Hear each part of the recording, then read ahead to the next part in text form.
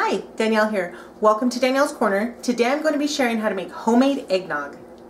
Okay, so what you need is six large egg yolks, um, granulated sugar, heavy whipping cream, this is what I'll be using, um, milk, I'm going to use whole milk, so I just got our, I usually use fat-free milk in my household, but I'm going to use that one, ground nutmeg, salt, vanilla, and then it says ground cinnamon for topping, and then alcohol optional.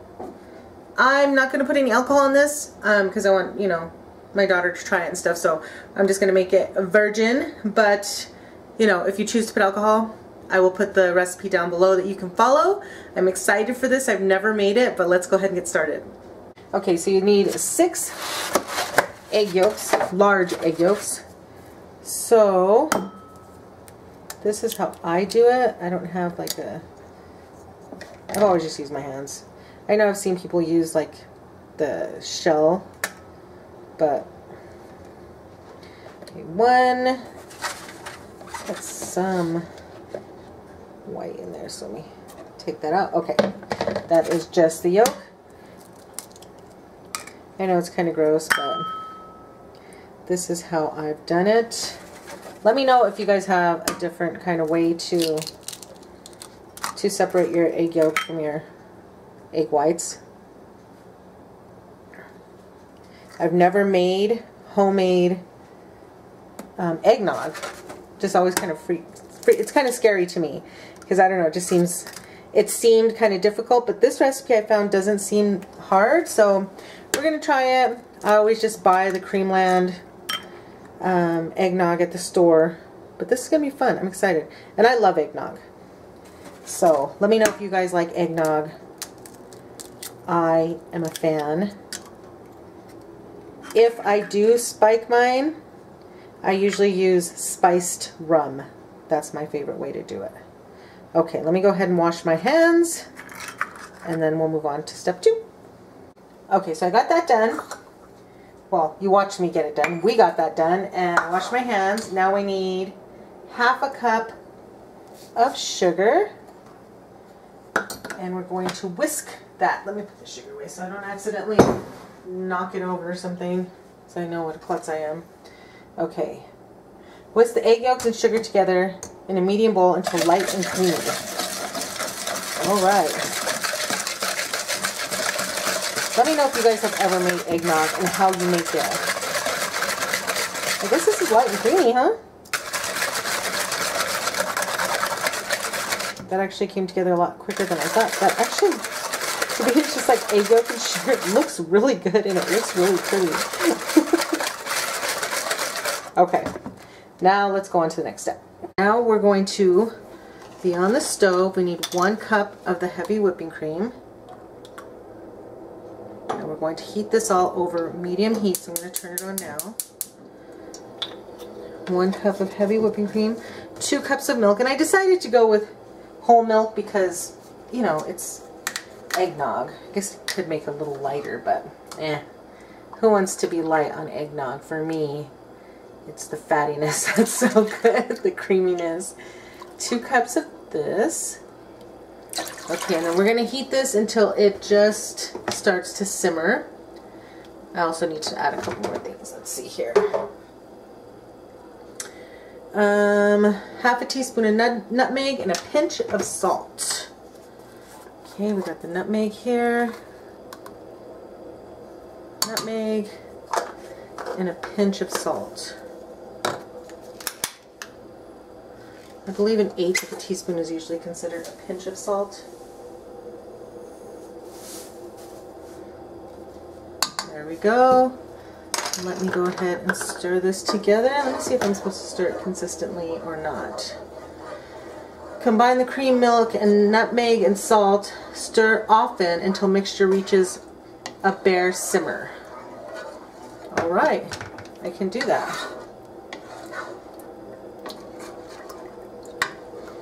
Hmm, already smells good. Well, nutmeg just smells good to me, so Alright, I'm going to let this come to a simmer and then we will go on to the next step.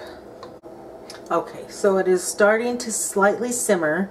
So I'm going to go ahead and turn off the heat. And then what we're going to do, um, I think I'm going to move the camera. Okay, I'm going to move the pot right over here. have this here. And we're going to put some of this. This is called tempering the eggs so that they don't cook.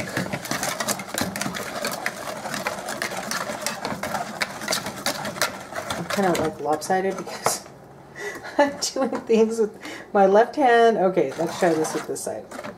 Let me see if I can. Mm, okay. better. There we go.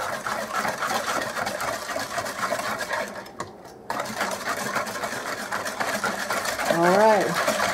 Once we get most of this in here, then we're going to return it back to the pot. And I don't remember what the next thing is, but either way. I know we return it back to the pot.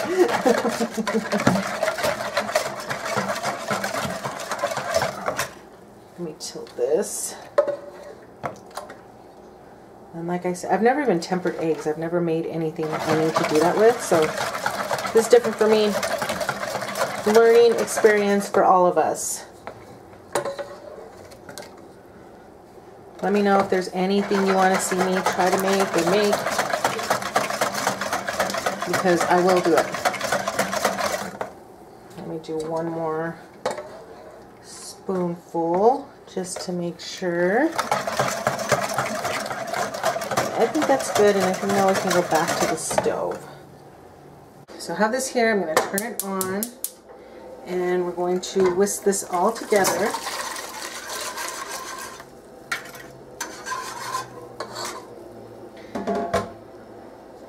Let's see exactly what it says to do.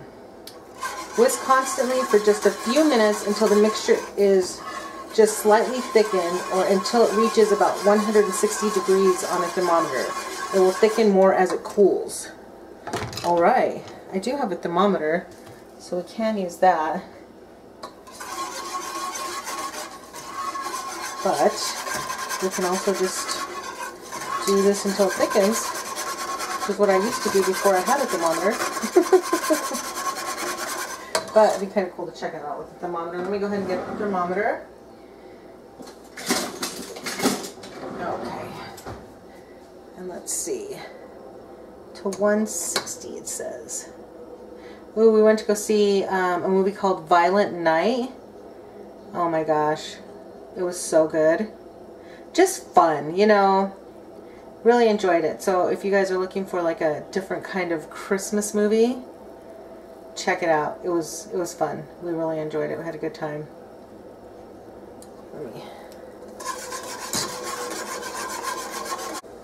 Okay, so I believe we're at 160, and it is a little bit more thickened. So I think we are good. We're actually above 160, so we're good.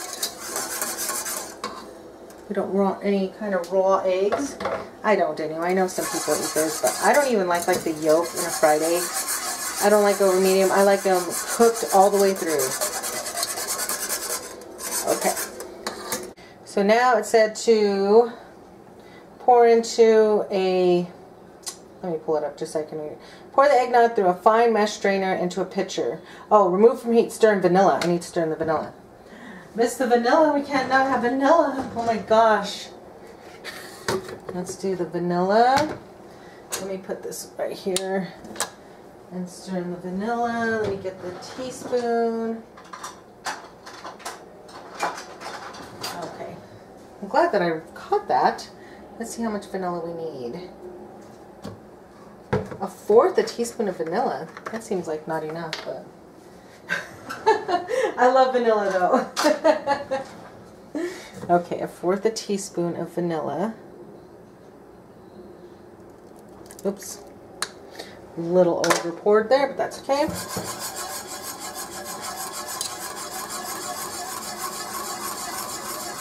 Okay, and then at this point also, if, if you're adding alcohol, this is when you would put it in here. Since I'm not, it's absolutely fine. Okay, pour the eggnog through a fine mesh strainer into a pitcher. or other container and cover with plastic wrap. Refrigerate until chilled. It will thicken as it cools. And then it's got instructions if you want it thinner. And when we serve it, we can sprinkle it with cinnamon or nutmeg and fresh whipped cream if we desire. So we don't even have to use this one if we don't want to. Sorry, that crashed down. I wasn't expecting that. So now I have this.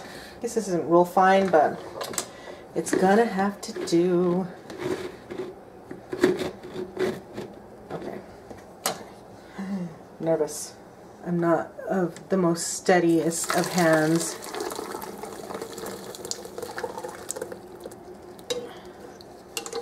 Okay.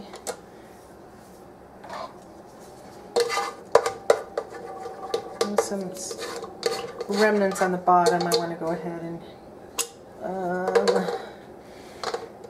through here. So we have all the flavor.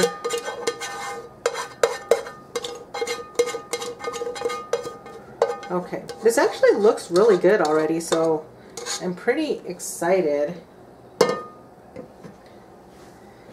And yeah.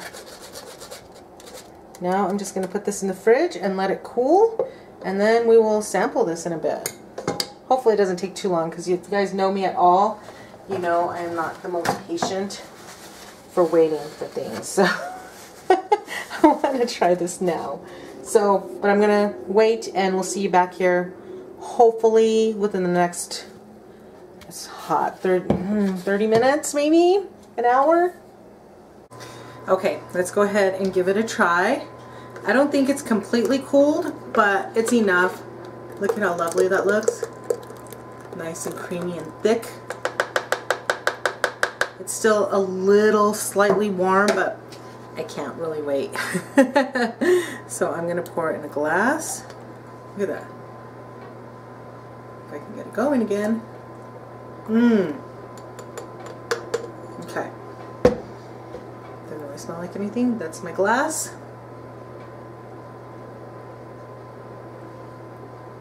Mmm. That's really good. That's actually really, really good. I'm very impressed with this. Let me know if you guys try this. And that's it, it's still a little bit warm. It's going to be even better when it's fully cooled. If I could wait, that would be great. But that is delicious. Let me know if you guys try it. I'll definitely link the recipe down below. And I hope you're all having an amazingly blessed day and an amazingly blessed week. And I will see you all in my next video. Bye.